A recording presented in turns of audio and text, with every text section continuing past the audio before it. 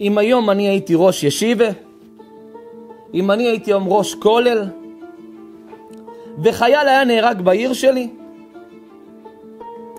כל הכולל והישיבה שלי, יום יום, כל התפילות, כולל דברי תורה, היינו עושים רק שם. כל שיעור, כל תפילה, כל התורה, רק שם.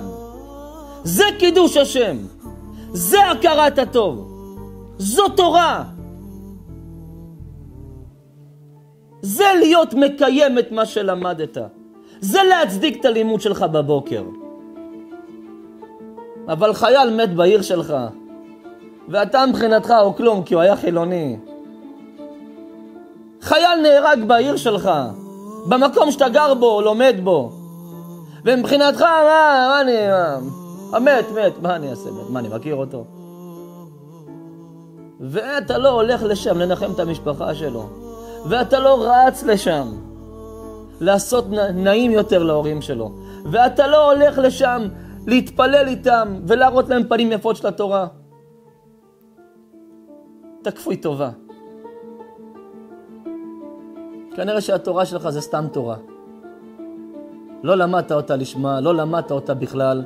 אין לך מושג מה למדת היום בבוקר בכולל שלך. חייל הזה מהעיר שלך הלך לעזה לשמור עליך. עליך, עליך, עם הספר, כן. עליך הלך לשמור. בשביל שאתה תשב פה תלמד. ואם הוא גר בעיר שלך והלך, ואתה לא הולך לנחם את המשפחה שלו, אתה לא הולך לאמא המסכנה שלו, ומבחינתך זה לא נחשב, מי צריך, מיותר, אתה עוד מזלזל? אתה המזולזל המנוול הגדול ביותר בעולם. כי אין לך כבוד לאחים שלך, אין לך כבוד לחיילים שלך, שהגנו עליך בנפשם ובגופם. אין לך כבוד לבני אדם. כפוי טובה שכמוך. אם אני הייתי ראש ישיבה, אם אני הייתי ראש כולל, והיה לי מקרה כזה, או שני מקרים כאלה, הייתי מחלק את התלמידים שלי שתפילות, שיעורי תורה, לשבת עם ההורים, ללמד, לעזור. הייתי מראה להם מה זה התורה היפה. שהבן שלכם לא הלך סתם, גם לא לחינם. בטח לא למען אוכלי חינם.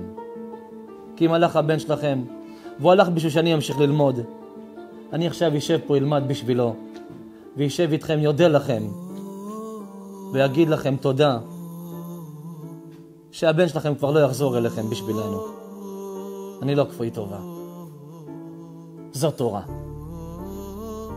חרדי אמיתי הולך לסוכות אבלים של חיילים. מקדש שם שמיים ברבים, מחבק את ההורים, משלים מה שחסר להם. אוהב אותם. מודה להם על זה שהבן לא יחזור, והוא לא יחזור. ואני יודע שזה לא יחזור גם בשבילי. הוא הלך מפה בשבילי. אני אף פעם לא אשכח לכם את זה, שלחתם את הבן לשמור עליי. זו יהדות. זו תורה. זו להיות יהודי פשוט, אבל להיות יהודי.